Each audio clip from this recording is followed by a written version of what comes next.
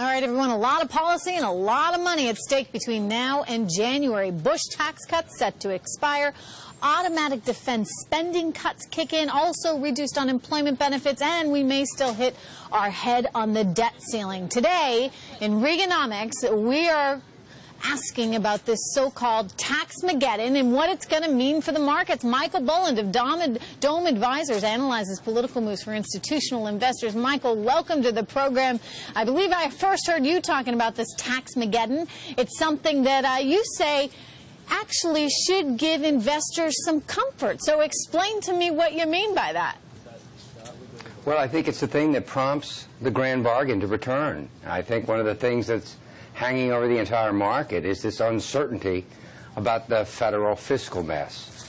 And if taxes are going to go up on January 1, so-called Tax-Mageddon Day, you're going to have a debt ceiling of 16.4 trillion that has to be addressed somehow. I don't think those things can be allowed to happen by a Congress that wants to stay popular, or get popular, rather, with the American public. So I think that brings both political parties back to the bargaining table. I'm not saying they'll get brave or get smart. I'm thinking that when they get cornered, they'll come to a deal. And they'll do what they need to do, which, uh, you know, I'm most interested in, I imagine our viewers are most interested in this capital gains uh, being treated as ordinary income, because right now we know we all get a break on those dividends uh, with the dividend tax, capital gains tax. If capital gains were to be treated as ordinary income, assuming that politicians couldn't come to a resolution before January 1st, 2013, what could that mean, Michael, for the markets?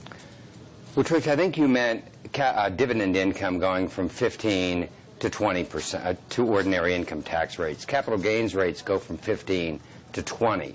But you're also right to anticipate that Congress, before the election, might want to postpone Tax-Mageddon into the first quarter of 2013.